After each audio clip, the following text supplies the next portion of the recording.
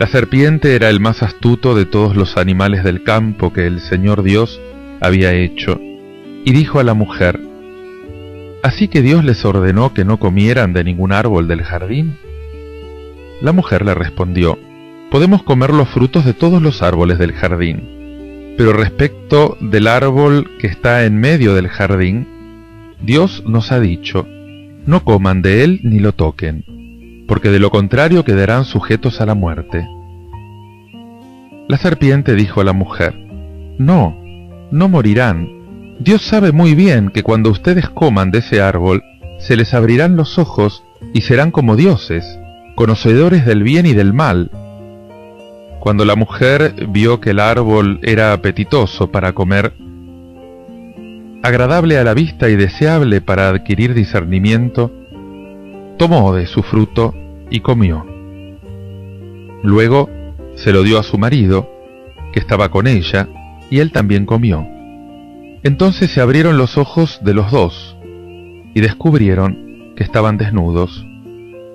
Por eso se hicieron unos taparrabos, entretejiendo hojas de higuera. Al oír la voz del Señor Dios que se paseaba por el jardín, a la hora en que sopla la brisa, se ocultaron de él entre los árboles del jardín.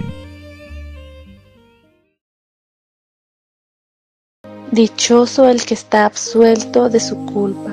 Dichoso el que está absuelto de su culpa, a quien le han sepultado su pecado. Dichoso el hombre a quien el Señor no le apunta el delito y en cuyo espíritu no hay engaño. Dichoso el que está absuelto de su culpa. Había pecado, lo reconocí. No te encubrí mi delito, propuse, confesaré al Señor mi culpa, y tú perdonaste mi culpa y mi pecado.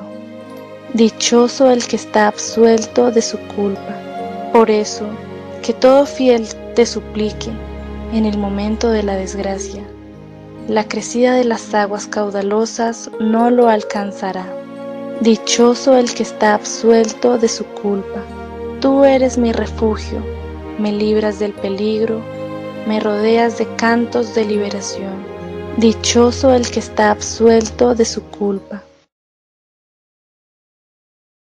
Cuando Jesús volvía de la región de Tiro, pasó por Sidón y fue hacia el mar de Galilea, atravesando el territorio de la Decápolis. Entonces le presentaron a un sordomudo y le pidieron que le impusiera las manos.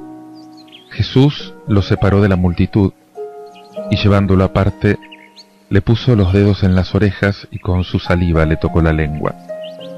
Después, levantando los ojos al cielo, suspiró y le dijo, Efatá, que significa ábrete y enseguida se abrieron sus oídos, se le soltó la lengua y comenzó a hablar normalmente.